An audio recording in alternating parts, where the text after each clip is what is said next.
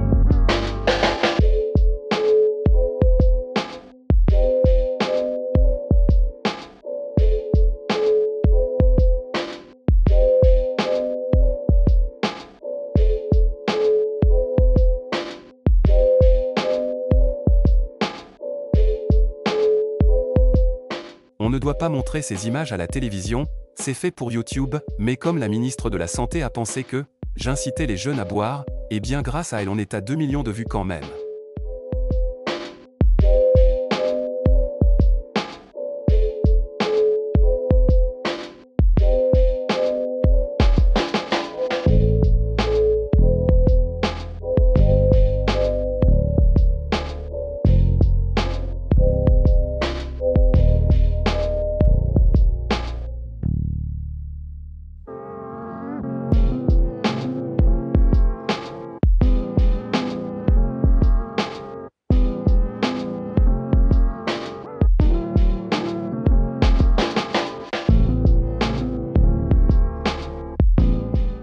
Je ne bois jamais d'alcool, le maximum à un dîner, c'est un verre de vin rouge, donc j'ai fini dans un état pitoyable.